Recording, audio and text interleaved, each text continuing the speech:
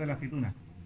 Hay una aceituna muy curiosa, muy bonita estéticamente, de un pueblecito muy cercano de aquí, que es de la comarca, que es la nana o canetera, en la zona de Canet, Los Rochos. ¿eh?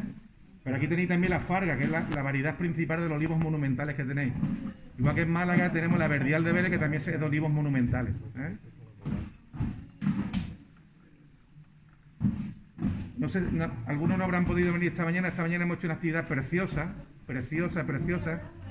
Posiblemente uno de los olivos monumentales más bonitos que conozco, que es el olivo de la Yacuna, la libera de la Yacuna, donde ha habido música de Pau Casal. Ha habido una degustación de aceite de olivos monumentales, en este caso de la variedad Farga. Ha habido una conferencia sobre cultura agrícola de Arturo Estero, posiblemente la persona que de Castellón que pase para los olivos monumentales en el mundo donde nos ha hablado que lo importante de un olivo no es la edad que tenga,